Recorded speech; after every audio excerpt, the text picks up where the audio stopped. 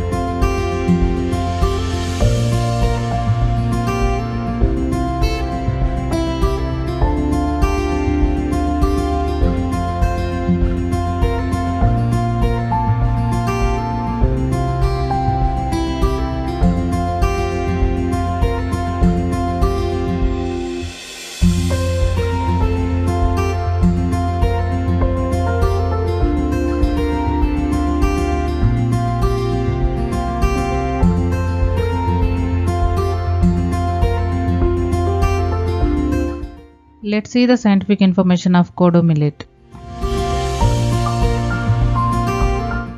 Kodo millet is useful food for people suffering with asthma. Asthma is a condition in which our airways narrow and swell and may produce extra mucus. This can make breathing difficult and trigger coughing, a whistling sound wheezing when we breathe out and shortness of breath.